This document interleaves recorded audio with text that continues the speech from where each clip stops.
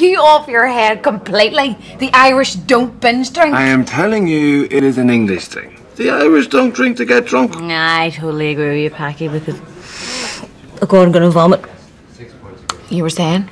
Look, when the English drink, it's organised. It's regimented. Yeah, and it's also fucking organised Yeah. and regimented. Exactly. They have an objective to get wrecked. They achieve that objective, job done. Irish drinking is more of an art form. You don't just walk into a pub sober and get on it. That's Barbaric. we warm up.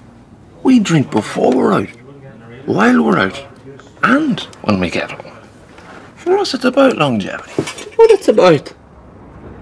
Longevity. We keep going. So no, we don't drink until we're drunk.